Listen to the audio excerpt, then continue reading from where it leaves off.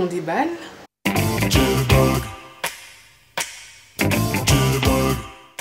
Les orangs d'Hermès, c'est parti Alors avant de rentrer dans le vif du sujet, je dédicace eh bien, cette vidéo à Chrisou, à Christelle, elle va se reconnaître. Sans transition, l'histoire des orangs, mon achat, mon avis, 1997 la maison Hermès est alors à ce moment-là eh dirigée avec le directeur artistique qui n'est rien d'autre que Martin Marghella. Martin Marghella qui fait partie un petit peu du groupe du Six d'Anvers qui est à la fois une école de mode et en même temps une composition de six stylistes qui ont quand même un univers très tranché.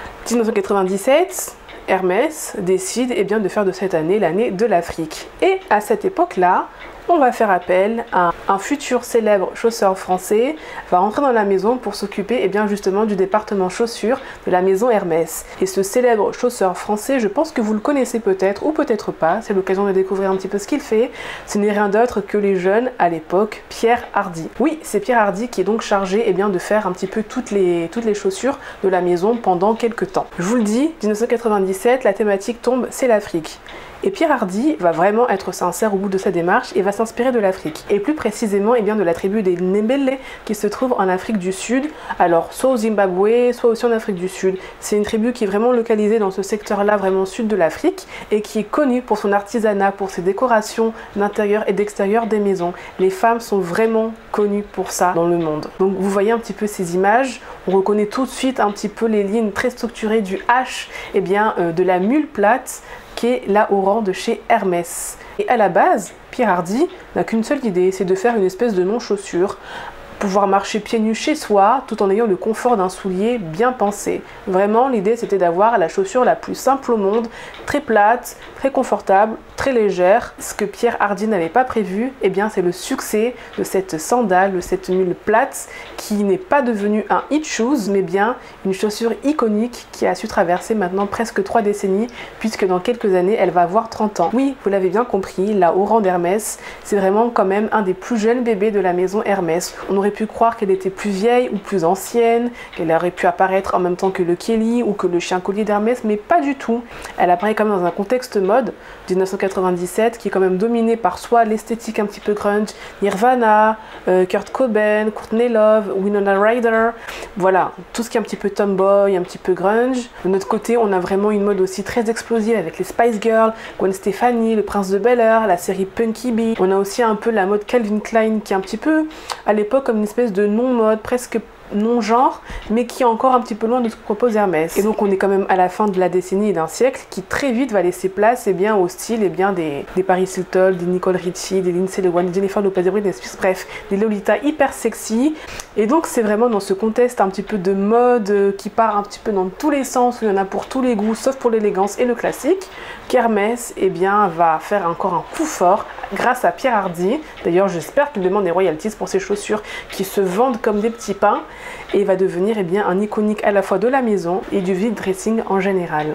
Le déballage à proprement parler semble blabla inutile, de joie, de ah je les voulais trop parce que oui je les voulais depuis un petit moment. Donc vous le connaissez, le orange d'Hermès, le cavalier, vraiment l'univers de la sellerie, de, du monde équestre, des concours hippiques. Alors la boîte, la boîte. Pour la petite information, je l'ai acheté eh bien, à la boutique de Lyon qui se trouve, il me semble, pas très loin de la place Bellecour. Donc, euh, sachant que je viens de Nice et qu'il y a aussi une boutique à Nice. Donc la boîte, hein, une boîte quand même qui est vraiment euh, solide, ça on le sent. Donc c'est une boîte que je vais garder tout simplement pour les ranger, pas forcément pour en faire la collection parce que c'est un. Mais... Bon, j'ai une petite coupure de carte mémoire, donc je reprends là où j'en étais. Acheté dans la boutique à Lyon. Alors, carton solide, donc comme je vous le dis, je vais le garder. Le nœud, on le garde. Franchement, le tissu va vraiment servir pour euh, faire je sais pas quoi, pour tutorer les tomates peut-être. la facture,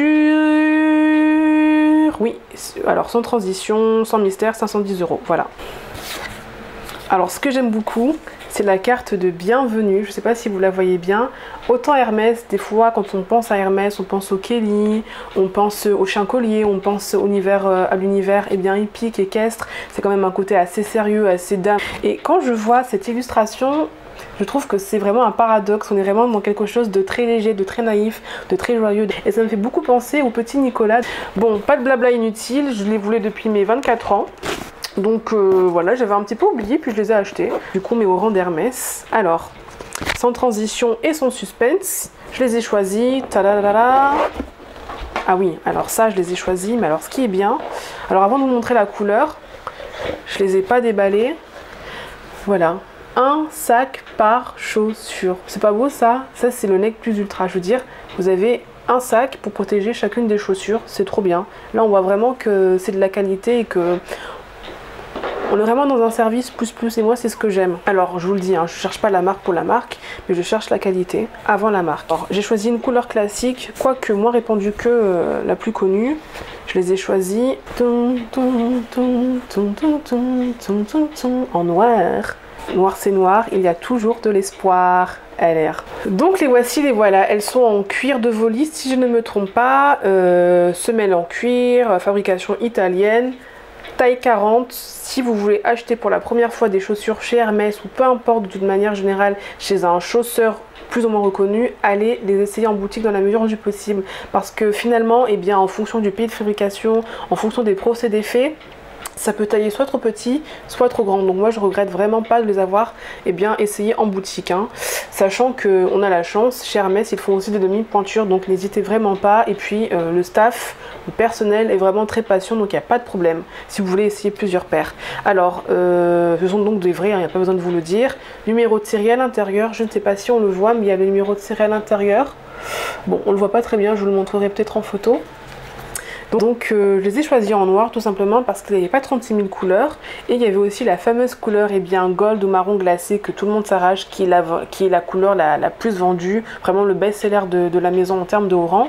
Je les ai essayées, je les ai trouvées très belles mais j'ai eu un coup de cœur pour les noirs tout simplement parce qu'elles offraient un contraste avec ma couleur de peau et je trouvais qu'elles ressortaient mieux et qu'elles aussi elles allongeaient un petit peu la jambe, la cheville tout en affinant le pied même si j'ai pas non plus des gros pieds. Qu'alors la couleur gold, bien que j'ai craqué sur cette couleur, pourtant je suis pas quelqu'un qui aime beaucoup le, cuir marron. Je les ai trouvées très belles, mais je trouvais qu'il y avait un petit, un petit peu trop le côté ton sur ton. Et ça, j'ai voilà, voilà.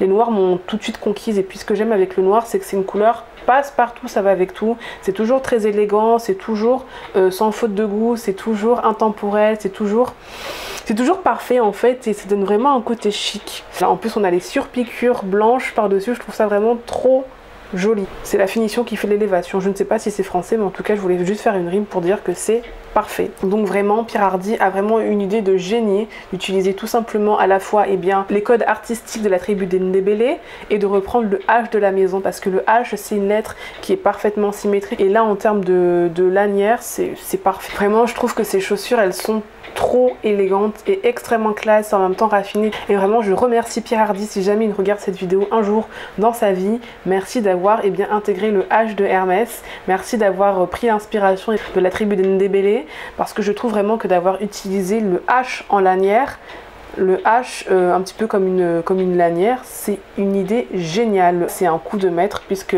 en termes de, de construction de la chaussure, c'est parfait en fait. Ça fait, euh, ça, fait, ça fait le travail comme on dit. Alors si vous allez en boutique, ne soyez pas étonnés, les rangs d'Hermès, notamment les couleurs classiques, sont régulièrement sold out. Pourquoi est-ce qu'elles sont régulièrement sold out? Tout simplement parce que c'est un des produits entre guillemets les plus facilement accessibles et en même temps iconiques de la maison à 500 euros. Bon, Bien évidemment, c'est la crise, il y a beaucoup de gens qui sont au chômage, mais si on regarde par rapport à d'autres objets dits de luxe, c'est quand même un produit qui est entre guillemets facilement achetable. Si vous économisez 50 ou 100 euros par mois, à la fin de l'année, vous pouvez vous offrir une paire. Alors d'ailleurs, voici la semelle extérieure. Donc voilà, fabrication italienne.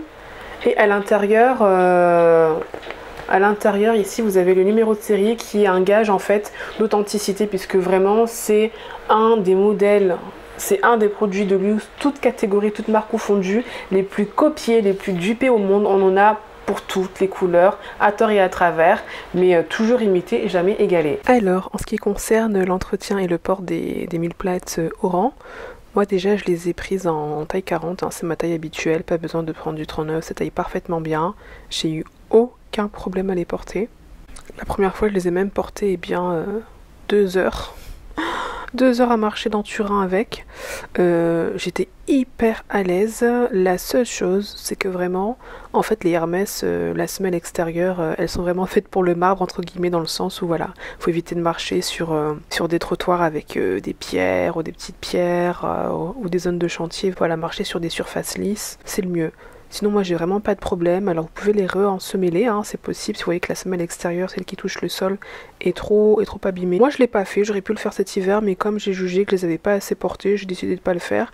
Et puis comme je vais faire, je pense au moins deux nouveaux achats chez Hermès euh, dans quelques semaines, voilà, j'aurai le temps de, de, faire tourner les chaussures, donc pas besoin, mais je le ferai euh, en octobre prochain, en octobre 2023. Cette première vidéo est terminée, à très vite pour un prochain numéro de la doctoresse